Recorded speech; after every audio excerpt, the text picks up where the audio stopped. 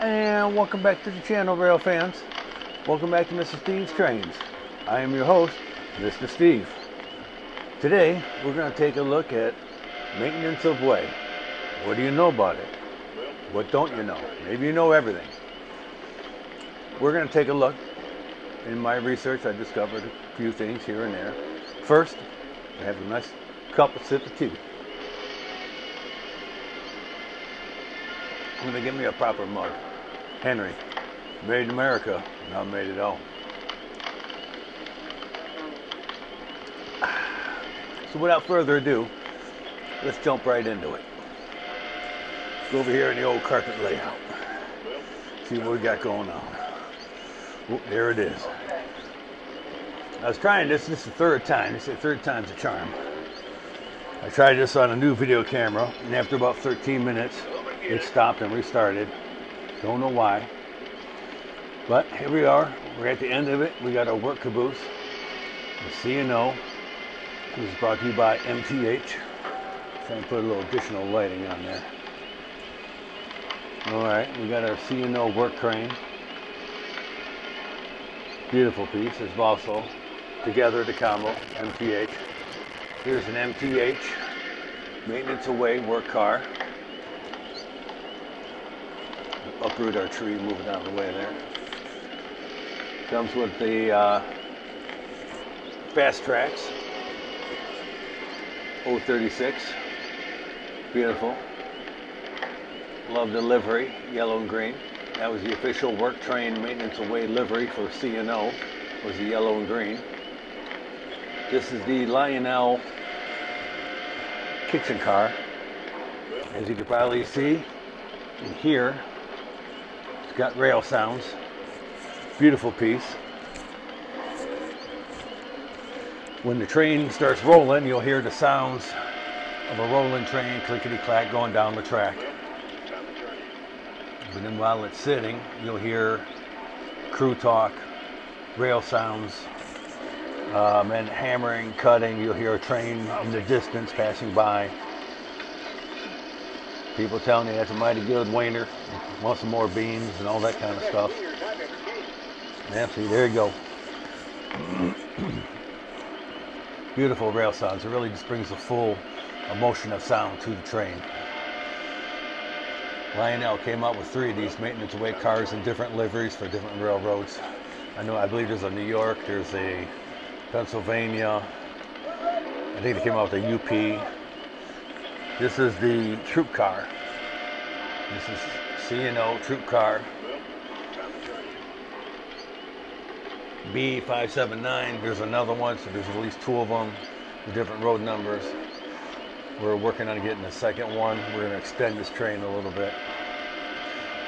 And these are all old box cars that were converted to maintenance away cars.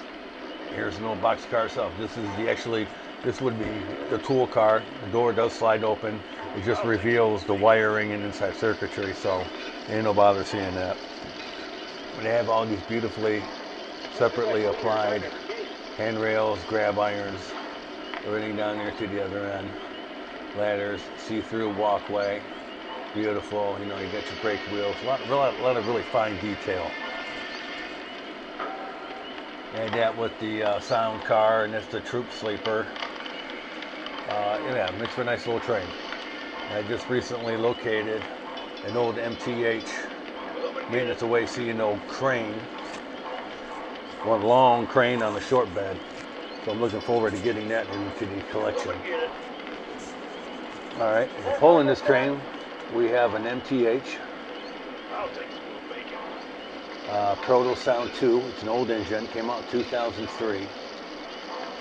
This is the old Allegheny. It's 20 years old. Still works pretty good. It does the job.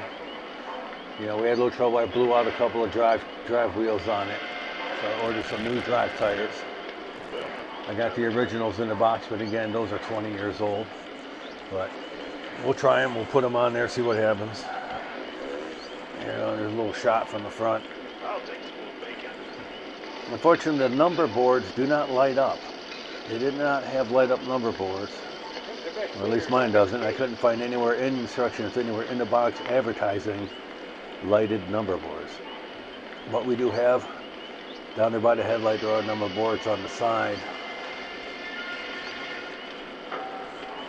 Still pretty slick. Back here, you know, you got your, your cab glow.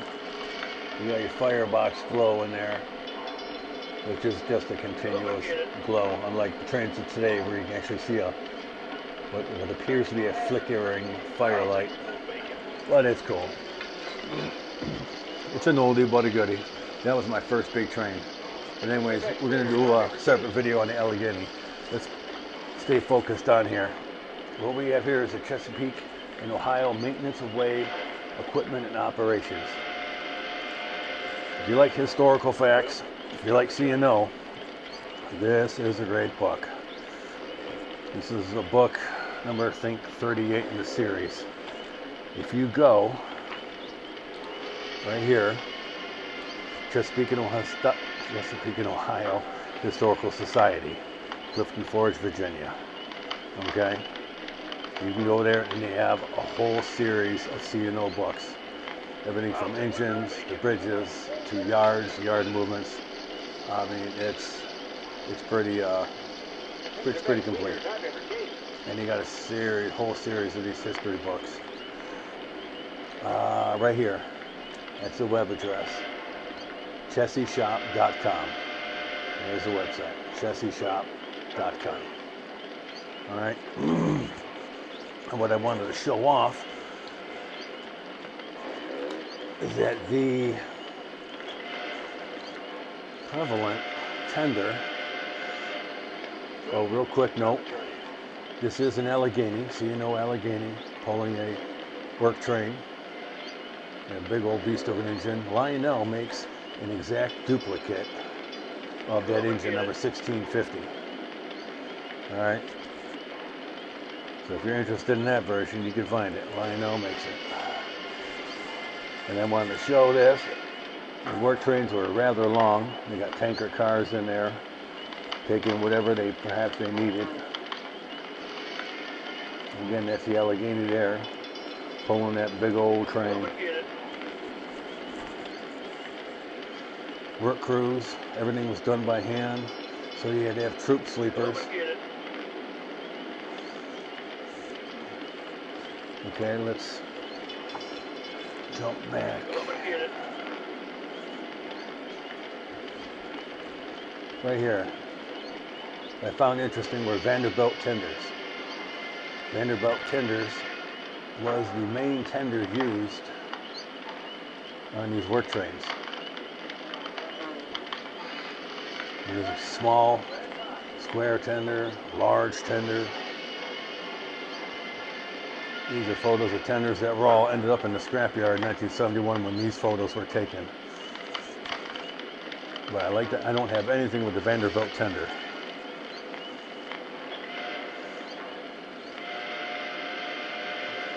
Great for historical research. Look at that. Pretty cool. And in the back here you got a couple of colored photographs. They did use, that's later on, those were steel cars. The original passenger cars they used were wooden passenger cars. And they later scrapped those and converted box cars into work train cars. You see there's a Vanderbilt tender Notice the troop sleeper and kitchen cars in front. And then you got a random tender by supplying coal. And then behind it you have the work slash material cars. All your tools and materials in there. Pretty interesting. Yeah, great book. ChessieShop.com. Check them out. Moving right along. Here's my Vanderbilt tender.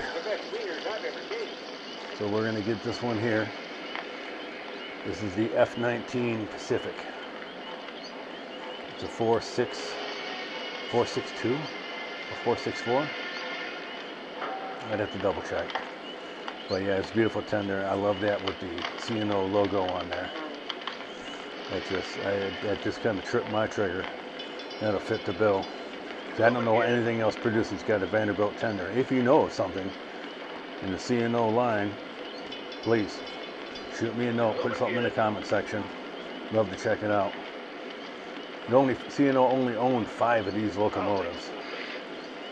And the George George Washington route is the most sought after engine that people go for. Fortunately, that's not what I want for my maintenance line. So where's that's it. That's in the big Lionel 2023 catalog. So enough of that. What do you say we get this baby rocking and rolling? Time's ticking away here.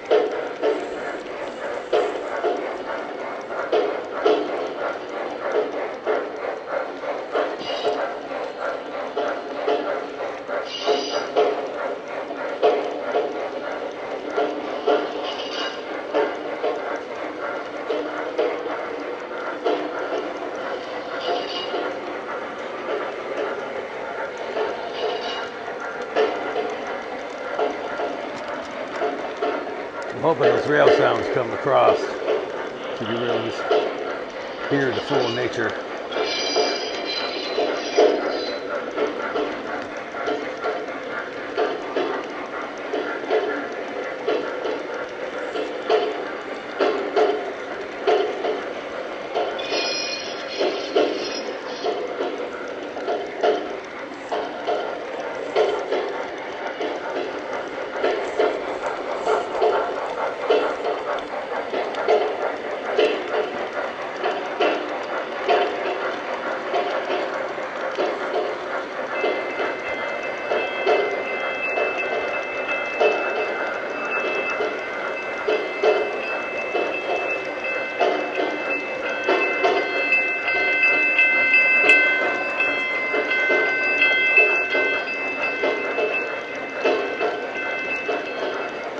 And that's it, boys and girls. We're down here in the Great Carpet Layout. This is the Maintenance Away C&O.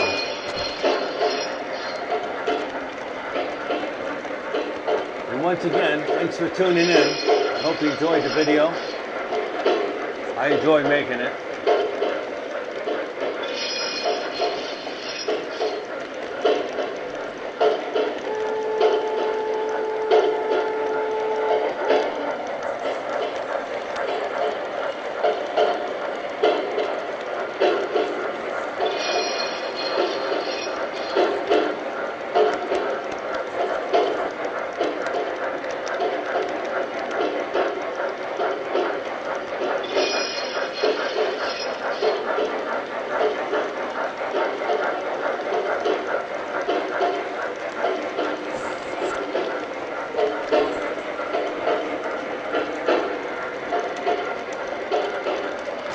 And until next time, as we like to say down here on the floor, happy rails.